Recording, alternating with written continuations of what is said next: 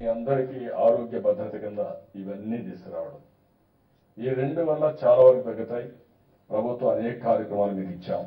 ఒకటి రెండు కాదు మీరు చూస్తున్నారు. ఈరోజు ఎవరన్నా చనిపోతే ఐదు లక్షల బీమా ఇచ్చాం. పూర్తిగా వికలాంగులు అయితే ఐదు లక్షలు ఇచ్చాం. పాక్షికంగా వికలాంగులు అయితే మూడు లక్షల ఇరవై ఐదు వేలు ఇచ్చాం. సహజ మరణం ముప్పై వేలు ఇచ్చాం.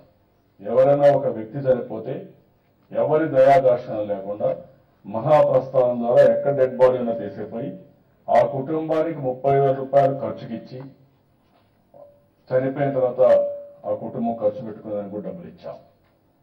అదే యాక్సిడెంట్ అయితే ఐదు లక్షలు ఇచ్చాం.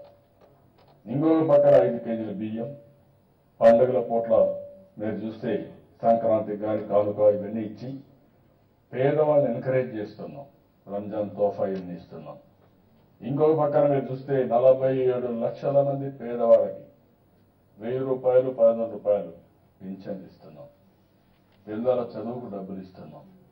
మళ్ళీ ఆదాయాన్ని పెంచుకునే మార్గం కోసం ప్రతి ఒక్కరు కూడా మీరు ఒకసారి ఆలోచిస్తే రుణాలు ఇప్పిస్తున్నాం మళ్ళా వాళ్ళకి నైపుణ్యాన్ని పెంచుతున్నాం ఇంకో పక్క అన్ని ఇండ్లకు కరెంట్ ఇస్తున్నాం.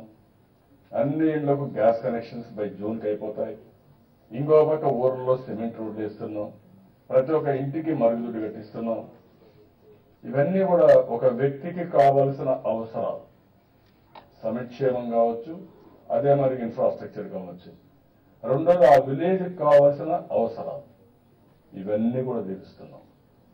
ఇవన్నీ తీర్చి అల్టిమేట్గా ప్రతి ఒక్కరికి ఒక సందేశం. ఆ సందేశం మీ జీవితం ఆనందంగా ఉండాలి. మీరు హ్యాపీగా ఉండాలి. బతికినంత వరకు మనిషి అనే వ్యక్తి ఆనందంగా బతకాలి. చిన్న చిన్న కష్టాలు వస్తే కూడా ఈ ప్రభుత్వం అండగా ఉంటాం మీకు చేయూత ఇస్తాం. మిమ్మల్ని ఎవ్వరిని ఇబ్బంది లేకుండా చేసే బాధ్యత ప్రభుత్వం తీసుకుంటామని మరొక్కసారి ఈ కొండే ప్రతి ఒక్కరికి అదే సమయంలో మీ ఆలోచన విధానం కూడా బాగుండాలి. నేను ఎన్ని పనులు చేసినా మీ ఆలోచన విధానం కానీ సరిగా లేకపోతే ప్రాబ్లమ్స్ వస్తాయి. పాజిటివ్గా ఆలోచించాలి.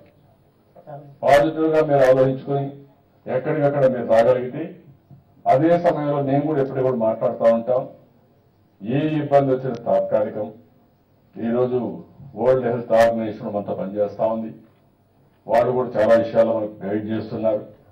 సులభ్ లాంటి సంస్థ. అంటే పరిశుభ్రత ఏ విధంగా ఉండాలనో ప్రపంచం మొత్తం ఏజెన్సీస్ పెట్టుకొని బ్రాంచెస్ పెట్టుకొని పనిచేసేది సులభ్ లాంటి సంస్థలు చేస్తున్నారు. All India Institute of Medical Science మన దగ్గరికి వస్తూ ఉంది. వాళ్ళు కూడా ఒక రీసెర్చ్ ఆర్గనైజేషన్ ఉంది వాళ్ళు మనతో కలిసి పనిచేస్తున్నారు. దేశంలో ఉండే రీసెర్చ్ ఆర్గనైజేషన్స్ అన్ని వస్తున్నాయి. ఇవి కాకుండా భవిష్యత్తులో ఆలోచించింది మన ఆరోగ్యానికే కాకుండా ప్రపంచంలో ఎవరైనా రావాలంటే ఆంధ్రప్రదేశ్కి వచ్చి పరీక్షలు కానీ ట్రీట్మెంట్స్ తీసుకునే విధంగా ఇక్కడ అన్ని హాస్పిటల్ ఎస్టాబ్లిష్ చేస్తున్నాం. All India Institute of Medical Science వస్తూ ఉంది.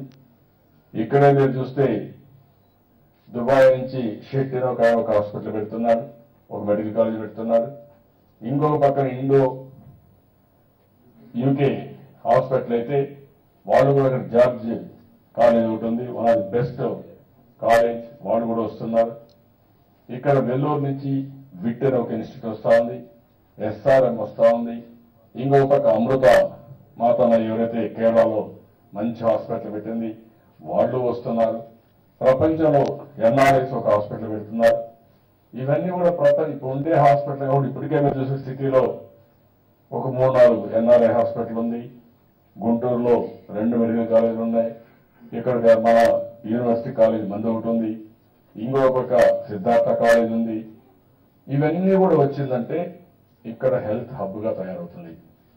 తిరుపతిలో ఏదైతే ఉందో మొన్నే పద్మావతి మెడికల్ కాలేజ్ పెట్టాం.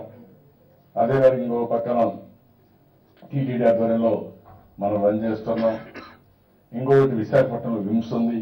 దాన్ని కూడా స్టిమ్యులేట్ చేస్తాం తిరుపతి సిమ్స్ కానీ విశాఖపట్నం విమ్స్ కానీ ఇవన్నీ చేస్తున్నాం. ఇంకా అవసరమైతే